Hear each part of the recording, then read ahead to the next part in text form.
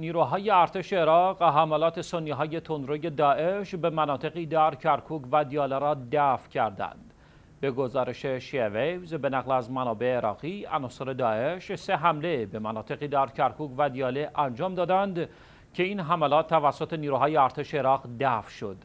عناصر داعش نیمه شب گذشته به روستای تل البسل واقع در منطقه داخوق در جنوب کرکوک و روستای المنصوریه واقع در منطقه ملا عبدالله در جنوب غربی کرکوک حمله کردند که این حملات با دخالت ارتش و نیروهای امنیتی دف و عناصر داعش نیز فرار کردند.